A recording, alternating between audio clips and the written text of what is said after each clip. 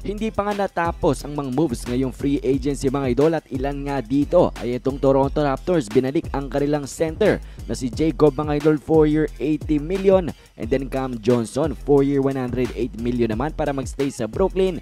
At ito namang si Joe Ingles mga idol 2 year 22 million dollar deal sa team ng Orlando Magic. Herb Jones 54 million dollars for 4 years balik sa team ng New Orleans Pelicans.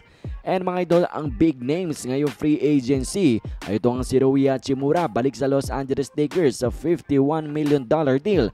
Nag-a-average ng 17 million per year which is ang projection nga sa kanya. And then ang team ng Lakers hindi pa tapos dahil si Cameron Reddish na medyo matagal-tagal din na narurumor na lilink nga sa kanila. For 2-3 years yata mga idol ay officially na ngang naging parte ng LA Lakers. 2-year deal nga daw yan ayon sa balita sa atin. Isang malaking wing player nga mga idol na talaga namang may mataas na potensyal. Grabe ang scoring ability nito mga idol at talaga namang may shooting nga siya kaya makakatulong siya sa opensa ng team ng Los Angeles Lakers. And then mga idol ang ating kauna-unahang max contract nga ngayong free agency ay nakuha neto nga ni Fred Van Fleet sa team ng Houston Rockets 3-year 130 million dollar deal.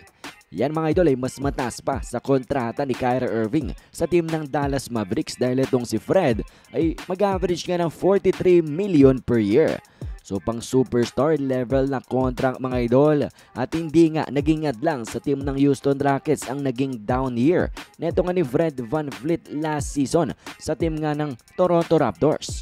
Talaga namang nag-struggle nga siya mga idol kaya medyo lumabo nga daw ang kanyang gustong pera sa free agency na malaki. Pero ang team ng Rockets ay sinayin nga siya kahit nag-average siya ng 19 points per game sa napakababang 39% sa field na shooting. So congrats dito kay Fred Van Fleet dahil siya na ngayon ang point guard of the future ng team ng Rockets. At pag-usapan na nga rin natin ng saglitan mga idol ang very active na team ng Los Angeles Lakers kung saan ang team na nga nila ngayon ng Lakers roster ay itsura ng ganito. Lebron James, Anthony Davis, Rui Hachimura, Gabe Vincent, Cameron Reddish, Jared Vanderbilt, Torian Prince, Max Christie, Cole Swider, Jalen Ojefino at Maxwell Lewis. So loaded of wing players ang team ng Los Angeles Lakers mga idol at talaga namang loaded din sila pagdating sa depensa. At ang kinakailangan na nga lang ng mga moves ng team ng Los Angeles Lakers this free agency ay ibalik itong si Austin Reeves at mag-sign nga ng mga big men. Yan na nga lang daw ang kulang ng Lakers at ready na nga daw silang mag-umpisa ng kanilang season.